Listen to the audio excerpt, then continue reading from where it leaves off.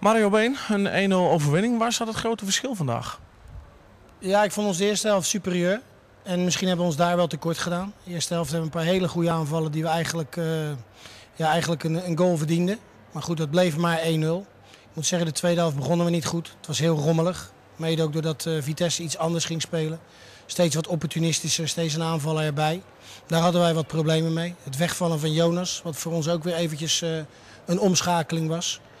Maar goed, al met al, ik uh, vond dat ze daar niet echt gevaarlijk in werden. Ik vond ons wel heel slordig spelen, dat, uh, dat eerste kwartier van de tweede helft.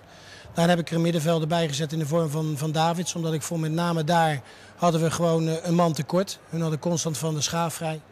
Dat hebben we dan aangepast. En ja, toen hebben ze nog weliswaar natuurlijk altijd hun gevaarlijke momenten. Met lange ballen, hoge ballen. Met Gommans, met Jonker. Maar nogmaals, echt, echt kans heeft Vitesse niet gehad. Loop je met het inbrengen van Davids ook niet het risico dat je iets meer gaat achteruit lopen, zodat zij wel op en toe kunnen blijven spelen? Nou, ze speelden met drie verdedigers en dan kan ik met drie spitsen spelen. Maar als ik met twee speel, dan blijven er ook drie. Dus dat maakt niet zo gek veel uit. Alleen ik wilde gewoon wat meer het grip terug op het middenveld, waardoor we ook weer duels zouden winnen. Dat heeft Lorenzo met name in zich om echte duels te winnen. En, uh, en dat ging een stuk beter. En uh, als we misschien op het laatst wat scherper zijn, kan je het uh, misschien al eerder beslissen.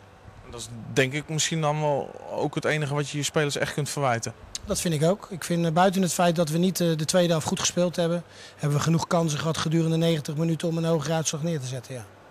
En uh, nou ja, die play-offs, 6 tot en met 9, die komen nu toch ook wel heel dichtbij, denk ik.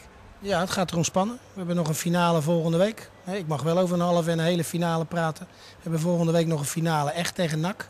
En daar gaat het erom. En ja, dat moet, uh, moeten we afwachten. We hebben ook wat problemen in, in de vorm van twee schorsingen met Weerschof en, uh, en Moesloe.